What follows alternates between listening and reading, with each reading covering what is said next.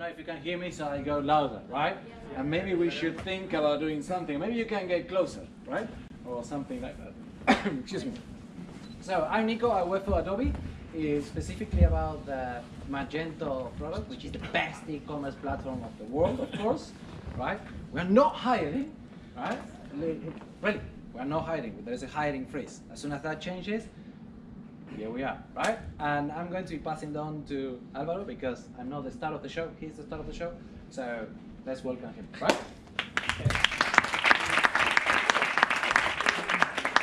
Okay, so um, uh, today I will talk about um, the decision we take uh, or we took uh, since two years ago in uh, in Assurance. Hire a top team and then uh, build a great product in more or less 18 months. Uh, so yeah, my name is Alvaro Moya. Uh, I help Startup Flow to the next level from the product side. And uh, first, uh, I want to mention that it's kind of uh, an explanation through the decisions we took. I think it's a kind of different approach. And uh, all the decisions need a context to have sense, and then you can extrapolate and keep those, those learnings and apply in other use cases. So first of all, I wanted to uh, bring a bit of context. So Assurance is a B2B2C insurtech. Uh, they were selling by that time mainly mobile insurance. Um, by that time, January 2018, they had more than 3 million customers in 12 different countries around Europe. And uh, there were no internet knowledge.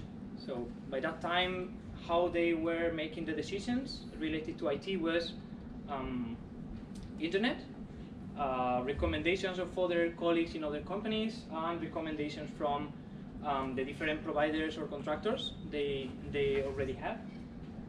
And uh, one of the decisions was to hire a company that was based in Berlin that had their own small uh, CRM uh, focused in, in insurance uh, to build all the customizations they needed on top, right? So the implications of that decision was that first of all, there were no IT team internal, so all the team was uh, in the former in the other company, and we only had a PM, a project manager, that was uh, uh, um, keeping the relationship with them to um, discuss about the new features, the bugs to be solved, etc. But it was not a PM focused in IT projects or software development. So we're not uh, we're not really uh, techy or knowing about the software development cycle, um, agile deployments, etc. And on the other side, there were no code. So the uh, agreement we signed uh, mean that as they were the proprietary CRM, we had no lines of code available, um, uh, and there were no documentation at all. So uh, it was not a priority for the team, and no one was uh, requesting this documentation about the technical processes or how it was built. So essentially, our relevant asset by that time was the product running and then uh, database dump. Okay, so great.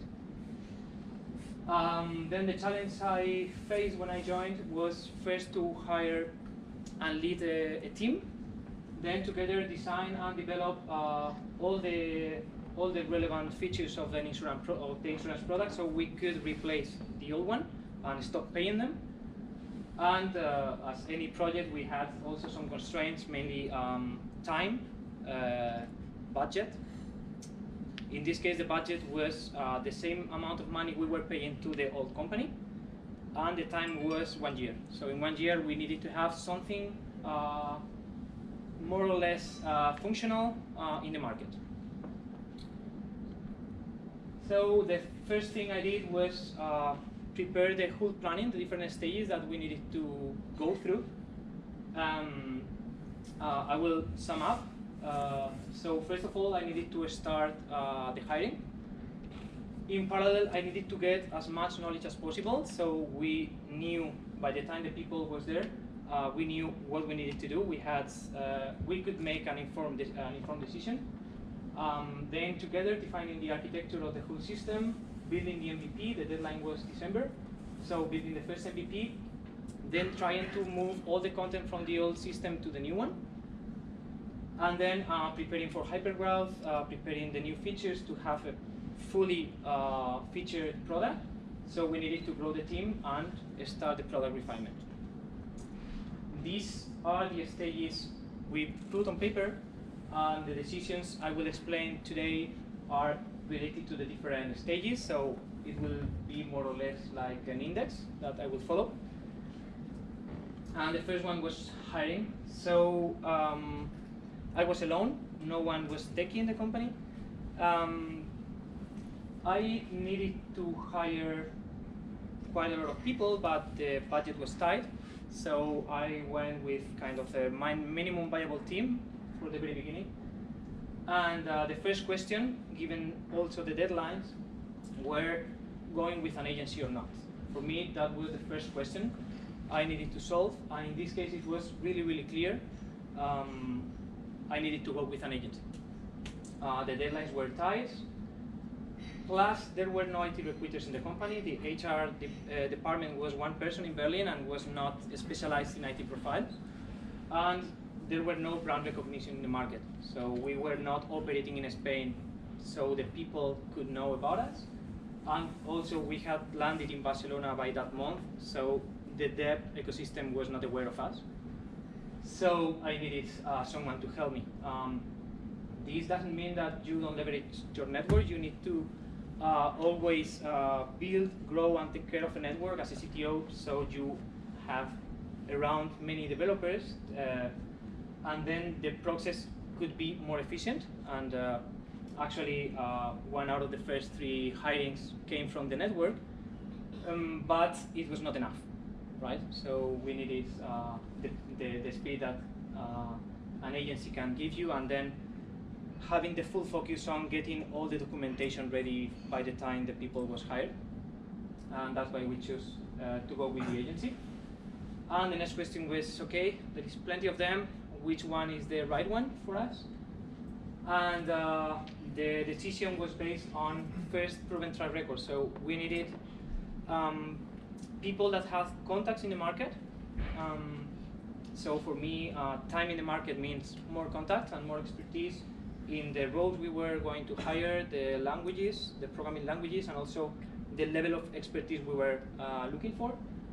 Um, then also how they treat the position. So we are putting a middleware between the candidates and us, and uh, I needed to guarantee that they were going to behave as me, right? Uh, so um, I needed to know that um, they were flexible, so adapting to our tailored uh, hiring process, um, they wanted to know about our culture, our vision, our passion, so they can reflect to the candidates, and also how they were treating the candidates. So not just filling the position for money, but uh, taking into account how these profiles uh, were looking for development in the next steps in their career. Um, and this is what uh, essentially Robert Walters uh, gave to us, and that's why uh, we choose them. Uh, it was a delightful experience at the end. And uh, for me, one like um, rule of thumb to choose it is um, if the candidate is coming excited to the interview, this means that they were uh, exposing your passion to the candidate. And on the other side, if you are getting excited because of the candidate you are receiving, the quality, this also means that they are also capturing your requirements, right? So they are really uh, being a thin middleware, and as thin as possible is, is better. Um, okay, then we have chosen the, the agency and we need to prepare the, the, the, the offer. And you need to decide which languages are you going to use in the, in the system. And in this case, I went with uh, PHP and React. Uh, the reason was uh, uh, reason was first talent availability. This is my first uh, rule all the time. Maybe it's not the most performant or it's not the more fancy, but at the end you need to be um, exposed to as much talent as possible. And then PHP was well known here in Barcelona, and we didn't have a lot of time to make it possible. So uh, I went with uh, that uh, tools. And then the personal knowledge. Uh, I wanted to be as helpful as possible, especially in the first stages where we were not a lot of people. And that's why I wanted to know about it. So just in case I could, for example, prepare a prototype or uh, make a code review or choose tools or integrations or plugins or bundles um, in behalf of the of the team, right? So they have more time to focus on the core, and that's why I chose those one. Another question: junior, senior, depends on the budget. Um, all the time, and in this case, it was really clear that we needed senior developers. Uh, we needed to build something really big. Uh, we wanted to build it well from the very beginning, so it lasts more than one year or two years. We don't need to uh, we don't need to destroy it and build uh, from scratch again. Um, and also, they were uh, evolving over time. So first of all, they were designing and, and um, preparing all the system. Then they were coding, and later on, when the team was growing, they were going to lead the different uh, the different teams or, or, or all the people um, that were more junior. So this cannot be done by a junior, uh, and that's why we chose uh, kind of an architect role for the for the very beginning, both in back and front. Then local offshore, it's also a common question in, in IT teams. Uh, we were recommended by the C-level to look for a team in kind of Belarus because a friend of them have told that they, they were more efficient and it was really cheap and this kind of thing, But at the end, uh, we were facing a complex project, um, and in these situations, uh, you need to be really clear with documentation, with communication, and you can have some issues that are uh, difficult to solve when you are much away, and also the culture is different. Um, and again, uh, we were looking for long-term commitment of the of the developers. We were looking for a vision that was long-term, and the road were evolving. So I was not uh, thinking about a developer from Belarus uh, evolving to a team lead. Okay, from there, from there. So yeah, that was the first uh, stage, uh, getting the hiring done. In the meanwhile, I needed to get for as much uh, documentation and knowledge as possible, so uh, we know what we will need to do. And the first question is, who to ask? You don't have documentation, so you need to rely on people. I was doing shadowing with the product running. I was doing shadowing with several different roles. Um, I was asking the PM. I was asking the the other side of the equation, the contractor. But at the end, I needed to ask people uh, from the company to understand the business processes. If they were not written, try to uh, have meetings to understand, right? So um, uh, first of all, I interviewed uh, all the different users that were uh, active in the in the internal tool, so the different roles, to understand how they were using the app. Then um, the managers of the different business units to understand um, how the different features of the app were related to their business business processes, and also how the things that were bugs or that were problems in the current app were affecting them. And finally, the contractor to get as much technical documentation as possible. If it was not done before, I needed to I needed to get it. And then okay, what to ask? And in this case, I have chosen just the example of the of the users. Um, so they were using the app. I was doing shadowing with them, and then my questions were um, the three main tasks you perform on a daily basis, um, the three biggest pains you face with the current uh, status of the of the of the app, and then one wish, something you would like to have if there is not there, or something you would change.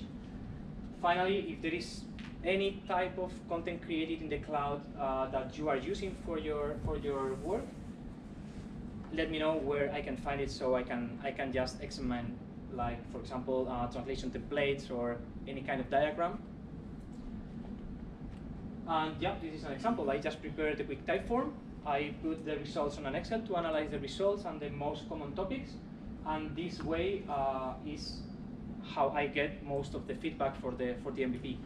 Um, I was asking for three, three, just one wish because I wanted all the people to prioritize. So I could be certain that at the end, when the MVP is released, uh, they all have the main features they need in the system. And I was not just assuming what it was important for the, for the company. Um, some tools I use to collect uh, knowledge for me documentation is key for, for success. Um, on one side, uh, it's it, it's helping to spread the knowledge across the company, also with uh, with new hirings, and the information is not only in the head of the people that is currently in the company, and then um, is, is, is helping you to avoid uh, some communication issues because you write it and then there is no confusion, right? So um, I wanted to implement tools that were easy to use. It was easy to collaborate as a team that was growing at the time. Um, and these are some, some examples. Xmind I was using for quick mind maps during interviews or when I was thinking about the system or the product. Um, and also for quick drafts of, uh, for example, the, the first database model then Draw.io for some um, some diagrams like workflows uh, of the business processes, uh, the team structure, etc. Um, I uh, recommended to start using Confluence not only as an IT knowledge base. I think this is the common use case, but I was also um, willing to have all the information that is always in the Jira tickets, uh, not lost when the ticket is done. So I wanted to have there all the information about the different tasks we were performing, um, and then the, the Jira task is just a link, right? So Jira is just keeping track of the status of the task, but all the information keeps organized in Confluence. And finally, Office 365, we were already paying for it, and we were not using it at all. Actually, we were using another cloud. And uh, um, I wanted to use it to avoid this kind of topic that is, I think, around in, all, in, in, in a lot of companies where um, for any certain documents, uh, you are updating versions and then sending over email with different suffix, uh, and then no one is putting in an organized cloud storage.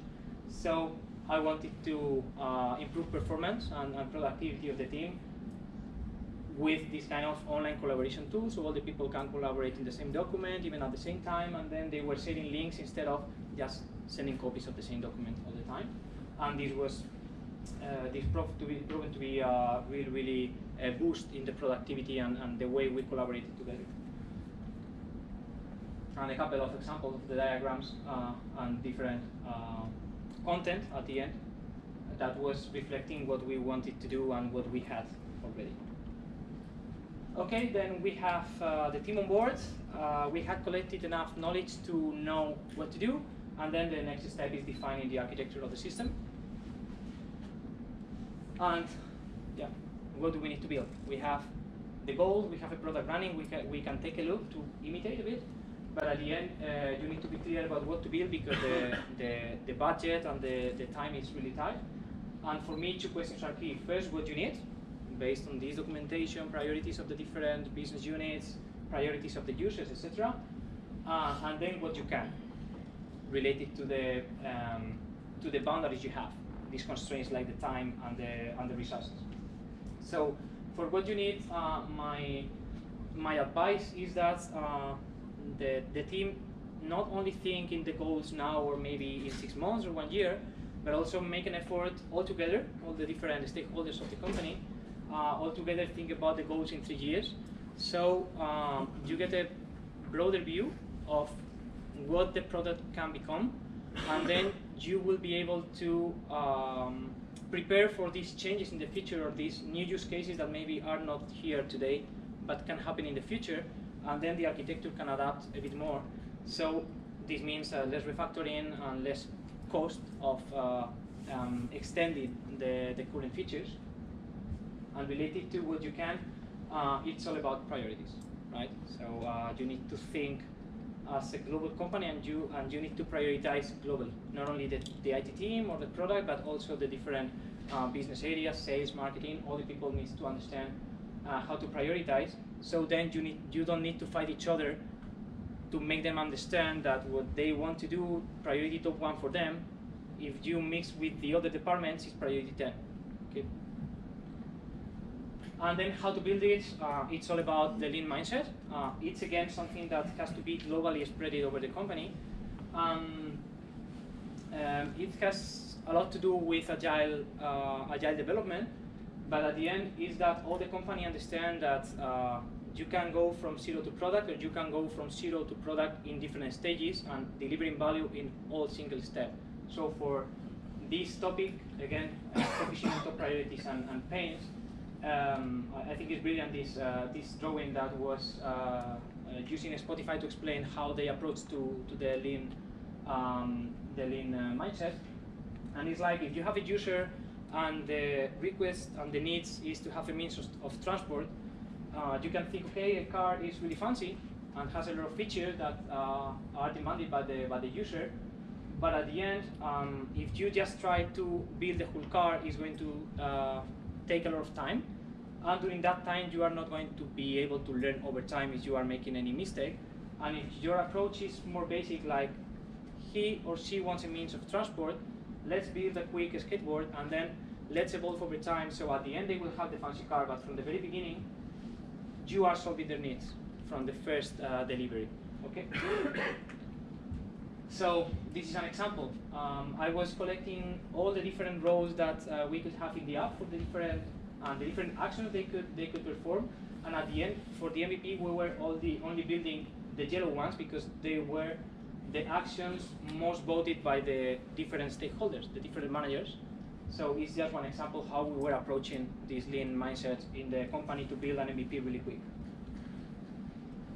And then finally, the technical approach. Once we have this in mind, uh, you need to define the product goals. In this case, you don't need to rely uh, so much on the feedback of different business units or the CEO.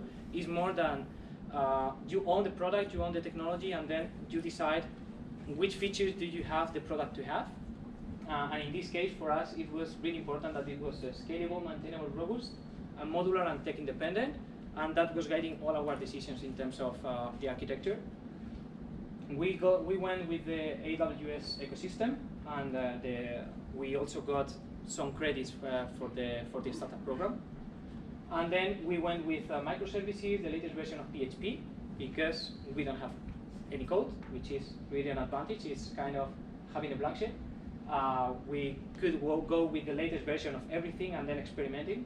Um, we wanted to implement uh, message queues as much as possible for all the asynchronous processes, and also implementing TDD and DDD from the very beginning. So uh, all the knowledge we were building from scratch, keeping it uh, isolated as much as possible, so we can um, be independent from the implementation of the different uh, uh, parts of the infrastructure of the or the application layer, and then TDD. We don't have anything. Let's do it testable from the very beginning as much as possible. And finally, I'm really a huge fan of uh, the don't reinvent the wheel uh, principle.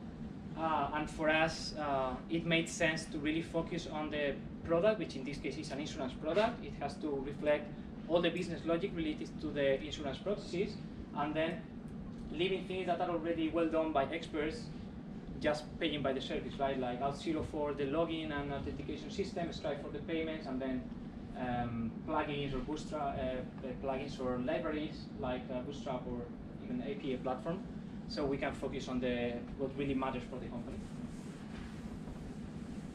So yeah, then it was time to code. It was around May, I guess. Uh, so we had until December to have something and it was the time to really build something and started to uh, started to code. By that time, my role was more able, uh, more like a PO, so no more decisions related to the architecture, no more hiring.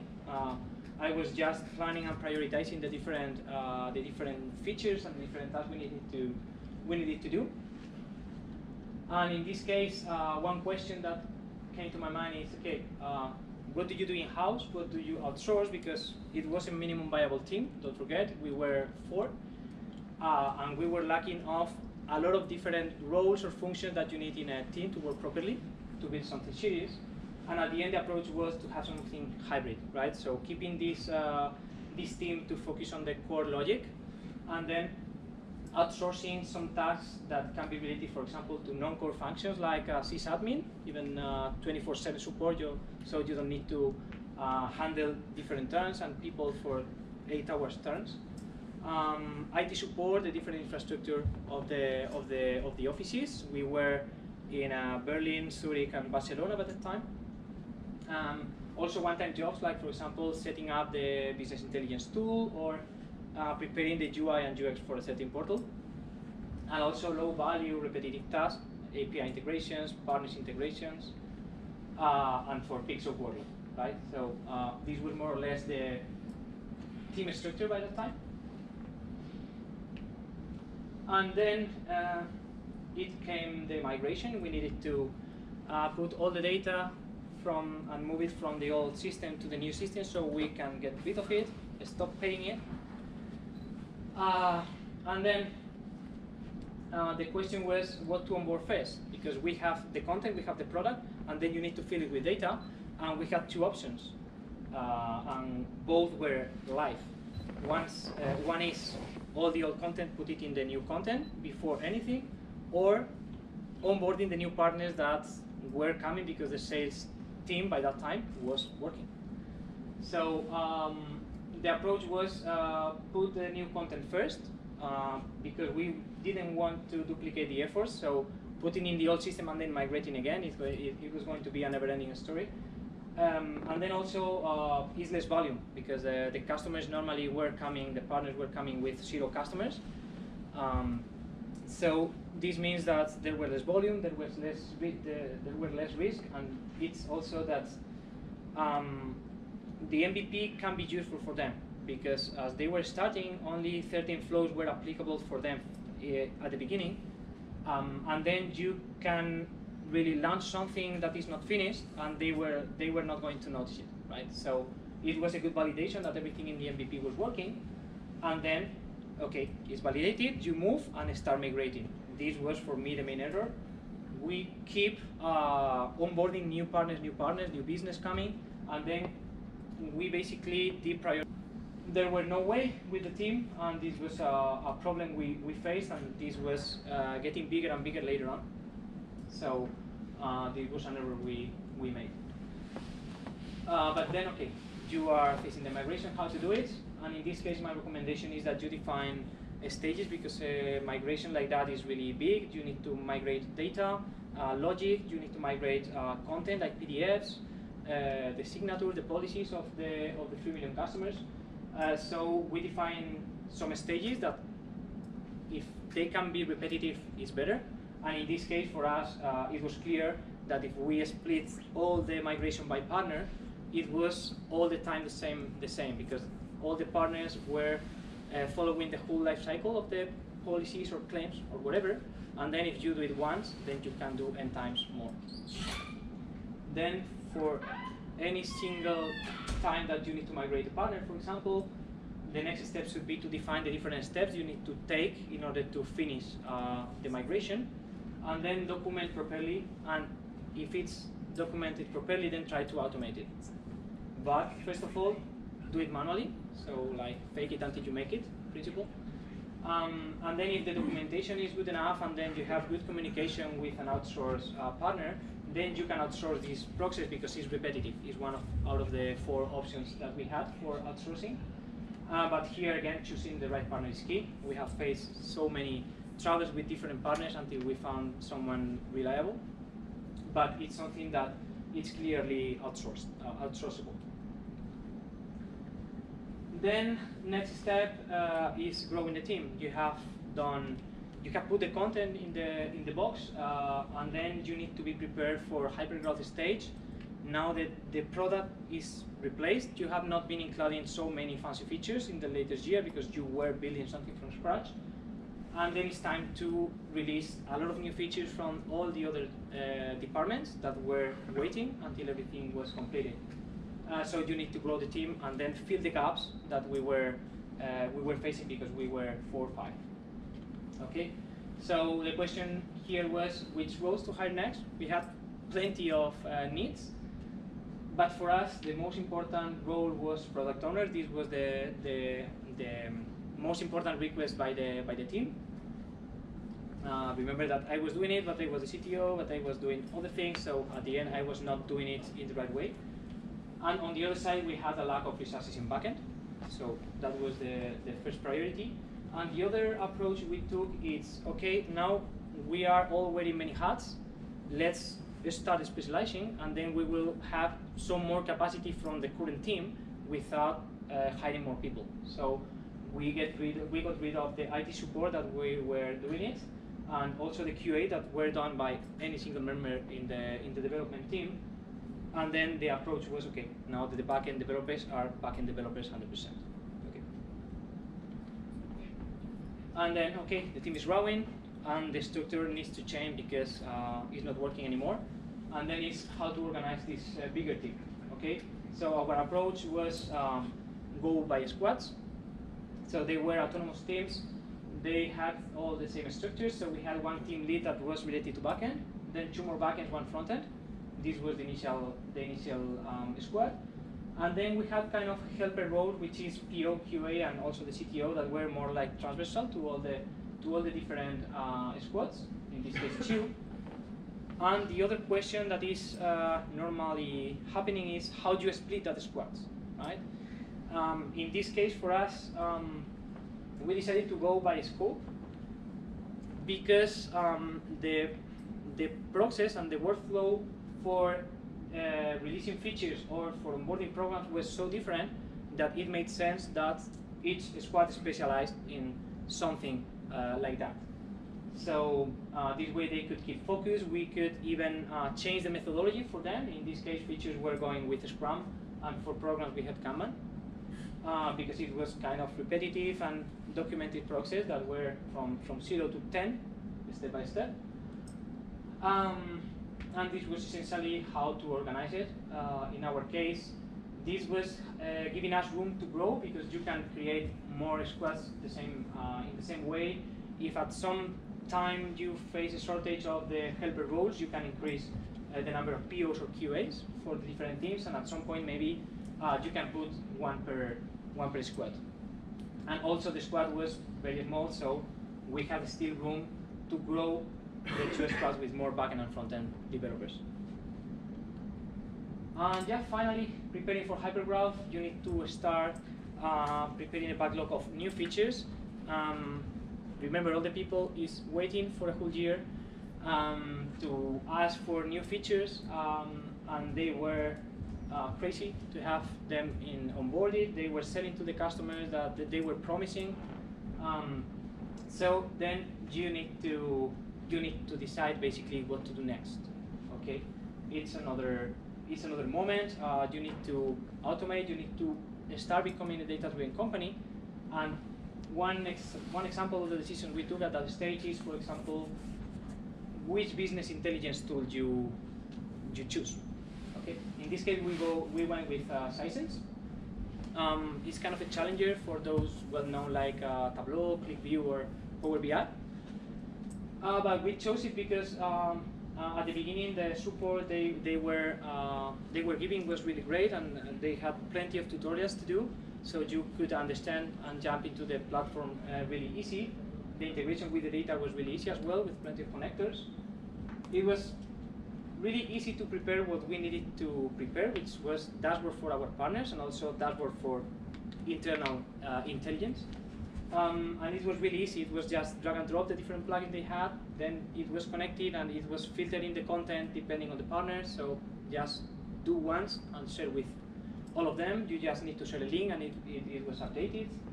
They had like a small trigger for alarms uh, when a certain value uh, reaches a threshold or if it's going away from the standard deviation. And it was really easy, for example, to set up roles, permission, and data scope. So we didn't need to worry so much about it and just connecting the, the tool to the data warehouse. Uh, one drawback, it was expensive and it was really intensive in resources, so we needed a big server to, to host it. But all the others were exactly the same. Even Power BI was included in, in, uh, in the Office 365 package, but only one part. So at the end, it was as expensive as, as Sisense. Um, and the other topic was that uh, it was only available for Windows, so all the uh, infrastructure was in line in Linux, and then we needed to prepare uh, Windows Server machine. But by now, I think that they are already compatible with Linux, with some some limitations, but I think it's uh, it's usable. And yeah, the the latest question: what to do first? I have talked about it. Uh, you need to involve all the people to learn how to prioritize. They need to understand the lean approach and the agile methodology because they will need to change the processes as well. Uh, they need to plan in advance, not just shouting and uh, giving requests every single day when they when it happens, when it, it it comes to their minds. Uh, so I think it's really, really important to train the whole company. Um, in this case, uh, we had an advantage, and is that uh, we were preparing the field from the very beginning. So um, yeah. Uh, what uh, what we did from the beginning is um, for any person uh, that was doing the onboarding in the company, uh, we were talking about IT as any single department, and in our presentation, uh, half of the time was dedicated to how we work. So uh, we wanted all the people to understand that we were working in a different manner, uh, that they were maybe not used to, which is agile development. And we were introducing basic concepts of, of agile. Uh, so by that time, any single person joining the company, uh, no matter if it was a customer care agent or it was the next CFO, uh, they knew some concepts like, okay, you need to plan in advance, um, you will have a point of contact, you cannot distract the team during a sprint, and so on. And this was a huge, a huge advantage later on when we needed to really embrace with all the departments and the managers uh, giving features. Uh, the training was leaner and the adoption was much quicker.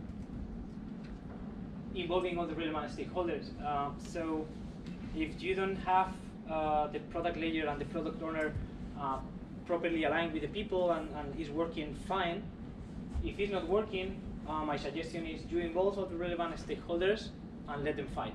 You just put the conditions, you just say which is the capacity of the team to build, and let them prioritize. If uh, there is a lot of features and there is not enough capacity, they have two options. They put something out or they hire more people, but it's not your responsibility, right? You are just in charge of making things happen. Uh, so if you have problems, put it uh, and sit them together and make them understand that any single task requires time and these kind of things uh, is really helpful. Then um, it's frequent also that by that time, you know, all the people is uh, fighting by their own. So they are approaching anyone in the team saying, hey, fix this, hey, do this, uh, it would be fine to have this button in red color, whatever. So uh, it's important to keep the team focused by that time. And for me, the key is to set clear communication guidelines, having kind of a document where you are establishing how they can approach you, who they need to approach, uh, at what time even. So like um, mentioning the channels, mentioning who is the person of contact, like the spokesperson of the team that ideally should be the product owner. Um, also, I don't know, giving the time or if they have some manual tasks to do by the, uh, to be done by the IT team, set a clear time and then the team will do it in bulk, but they are not doing at 10 and at 12, at 1, at 3, right? And losing the focus all the time. And finally, yeah, uh, you need to master the art of uh, learning to say no. Um, it's really important. And here is like uh, you are on one side the the reference for the all the technical matters for all the stakeholders, but on the other side you are the reference of your own team so, uh,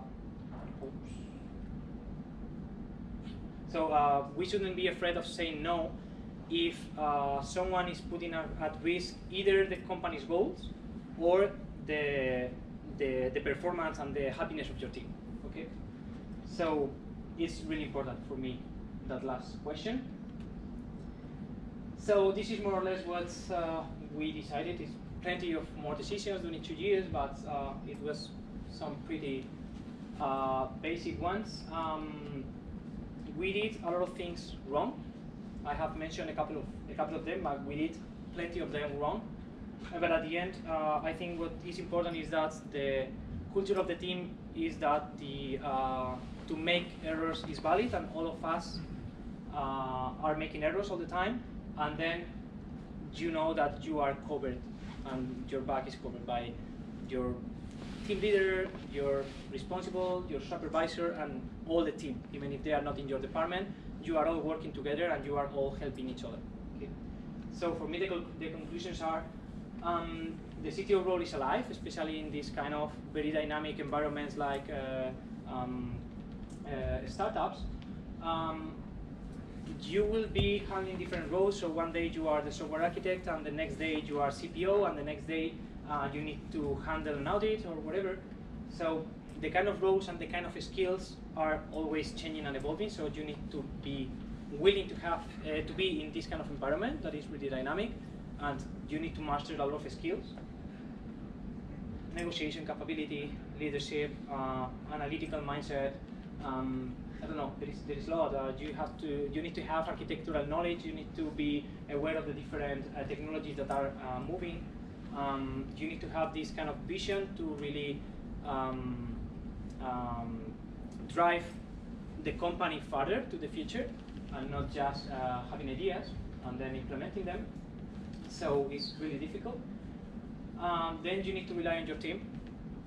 It's going to be the best thing that you do. It's like you empower them and they will really take the lead. And in this case, for example, uh, I think the major achievement was when we faced the architecture uh, definition phase.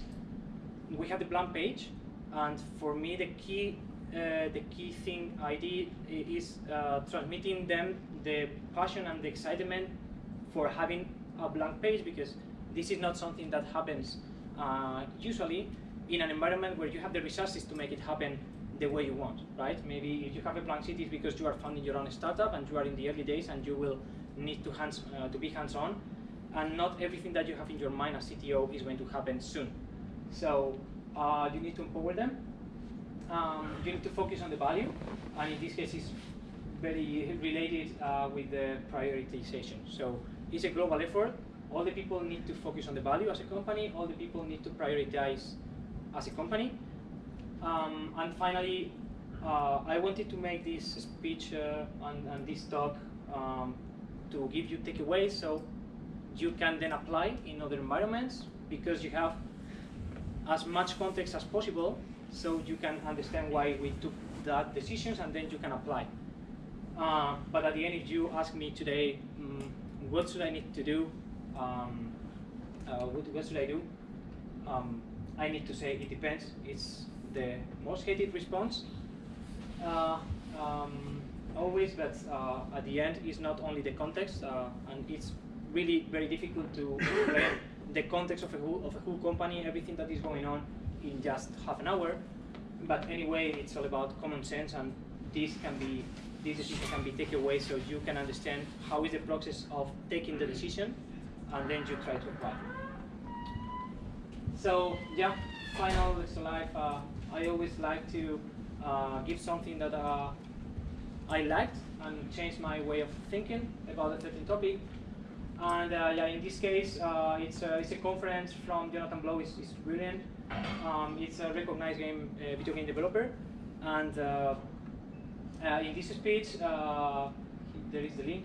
Um, he's talking about uh, the possibility of the civilization to collapse just because the technology is not improving but degrading. So it's kind of the opposite of the mindset that we can have that everything is improving, but actually he defends that it's degrading just because we are losing uh, sight on a critical point, which is uh, sharing the knowledge with each other. Um, it's really recommended. I mean, it's showing ex real example of civilization that were lost just because they were not spreading the knowledge and sharing the knowledge with each other about the techniques and the different uh, technology that they were building by that time, and it's really recommended. And by the way, I saw it in the in the blog of uh, Javi Santana, and it's a really great blog related to technology. But now that's all. Um, I hope you enjoyed it and uh, it's been a pleasure. Muchas gracias.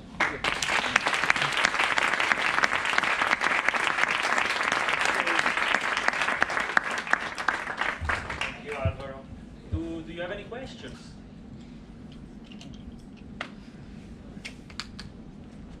Yep. The first one is why three years? When you say that you were like it, it's an example. I mean, it, it, it, can be 20, but at the end, uh, there is a lot of uncertainty in that. Uh, but it's a number. It's just to make the people on the company think in the future. So you have use cases that maybe they were not thinking about, and at the end, we are more used, thanks to the agile development uh, and other approaches that we take in the in the IT world, we are more used to think in advance, but concrete um, and you need to be exposed to that vision of the company. So when you have to build something, maybe you build it in order to be applicable for new use cases in the future, even if you don't build these use cases, these use cases now. But it's always helping to have this mindset as a, as a whole.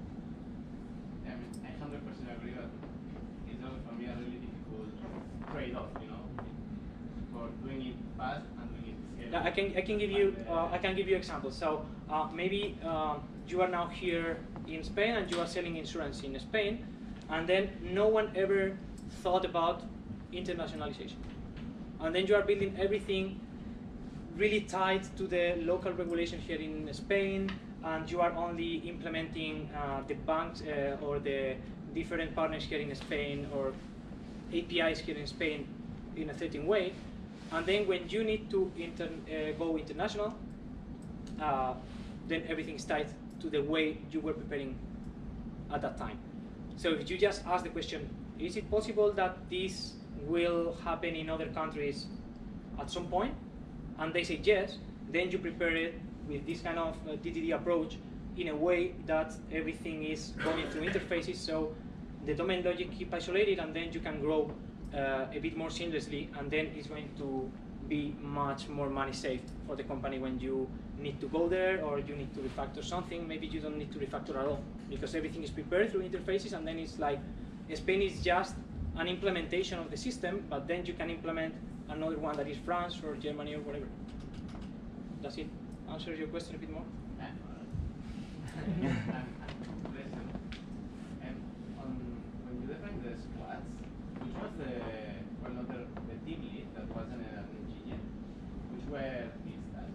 So in this case, uh, I hired architects, and these were the natural movement for there at the end to, to lead the team.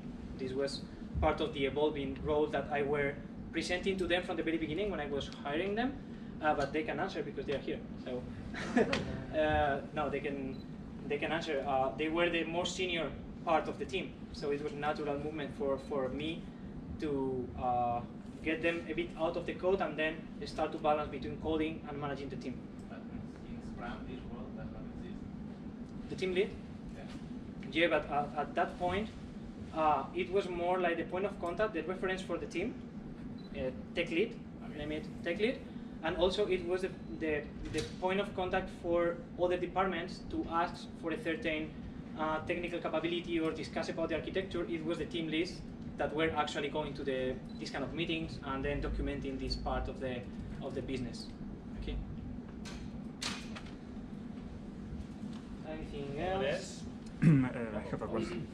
So you mentioned uh, you made a lot of errors in- with the process, and these errors leads to maybe creating uh, that your stakeholder doesn't trust the team or doesn't trust what you're building. So how do you build this trust? No, also in a uh, So here the, the interactive de- uh, development, Yeah. you have to build this in order to, to make them believe that you are the right path and you are going to deliver what they are expecting. Yeah, um, I think the problem was not exactly in that part of uh, not having the trust from the C level, and it was more about prioritizing. Ma- ma- mainly all the time, it was about prioritizing. So they were they were trusting us and they were trusting our work, but at the end, uh, they were not able to prioritize effectively. So even if we were saying, okay, we need to do this or we need to refactor this part that is more technical, if there were not uh, going to be anything related to the new business opportunities, it was like um, it does it doesn't make sense. So at the end, we were all the time making uh, an agreement, and we always needed to put something related to business, and then the refactorings or in, in improving the system, for example, with uh, AMQP, uh, it was not happening in a natural way, dedicating all the resources that you need, and then you were losing the focus. You were maybe assigning, I don't know, uh, uh, one day for each sprint, and then this way, this kind of big uh, projects cannot happen. But it was not about the trust, I guess, at that point. The, the thing is that they were not technical, so this was an advantage uh, because they needed to trust. The, for, for them, IT was a black box, and they didn't want to know what is inside the black box. So uh, at this point, we had the trust, and we tried to be as transparent as possible. So they were uh, little by little going more like uh, having more IT knowledge, understanding what is having an IT company, which is what they wanted to have. Could you give an example on how you were prioritizing, like, Can you? Uh, if you could give an example of how you were prioritizing features, like when you have like a lot of people that are not only IT, like you had a lot of stakeholders, finance, sales, Yep. users. How would you? Do you have like uh, sort of a framework, or how do you get to an agreement? What's more important to implement? So uh, first thing we did was to be clear that they needed to plan 14 days in advance. So what we were establishing now as priority was not for next sprint, it was for the next after the next one because the next one was already committed. So this was the first thing we did. And then it was just an Excel file, having a meeting, two hours altogether, the different uh, representation of the different uh, um, departments. And in the Excel we had the different sections, the different uh, requests each department had with colors. They were saying what is more important. They were ordering their own kind of backlog. And then we were going one by one assigning more or less the capacity from IT and then they were deciding okay two from your department one from your department one from your department. And now we are out of capacity. Okay done. See you next week it, it was I mean it, it was not an established framework but it was something like that Okay, thank you. uh, it was a question Me? Yeah, yeah sorry I think I'll save it for after the pizzas. okay So, uh, yeah one question there yes So I actually have two questions.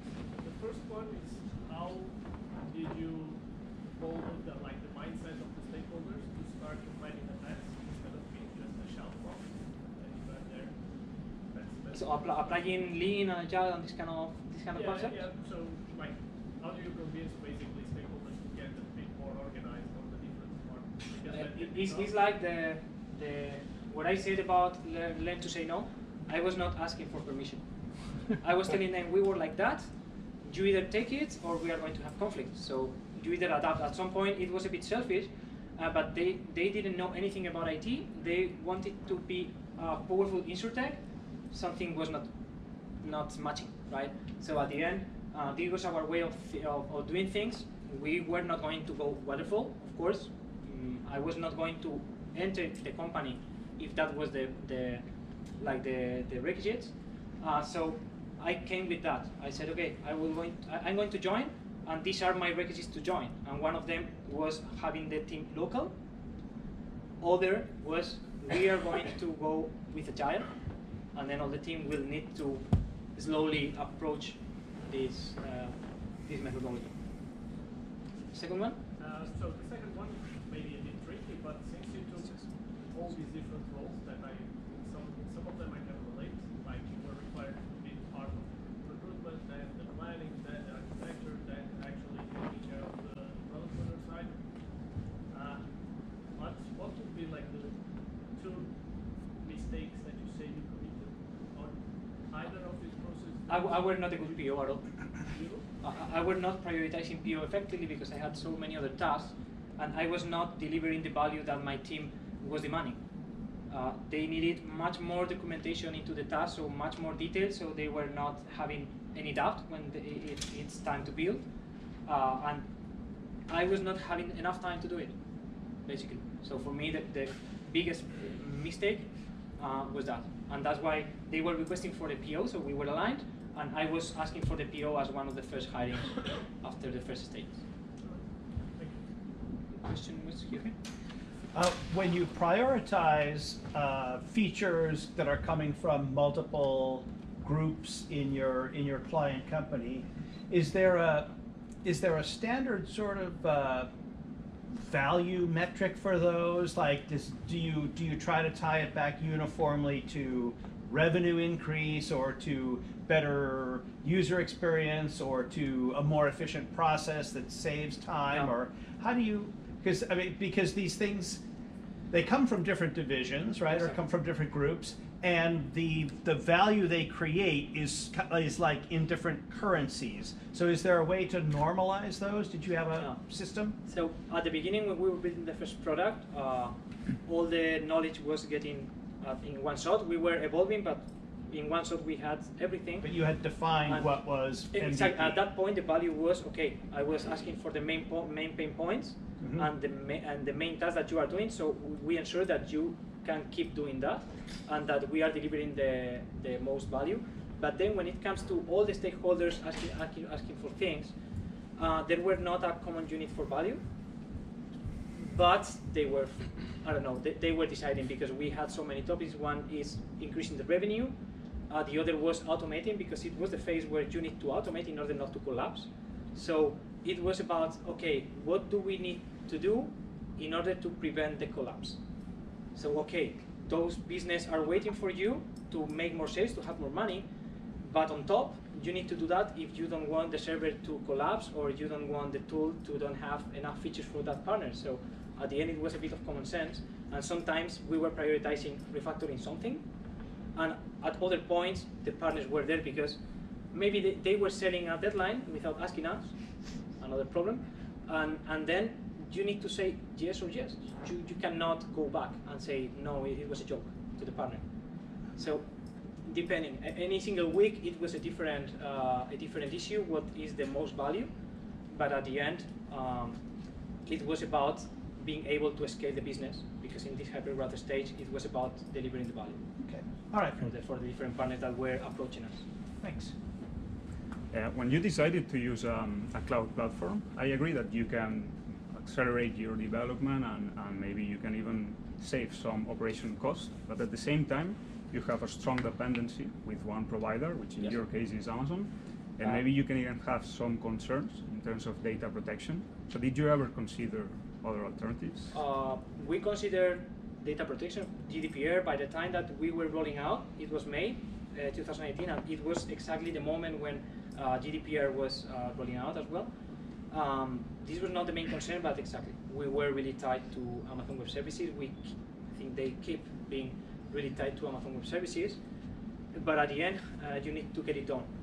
And Amazon Web Services uh, was a cloud powerful and flexible and uh, complete or uh, enough to have everything that we may need in the future. And that way we're using containers and RDS. So the most we can manage from the very beginning, the better. It was not a discussion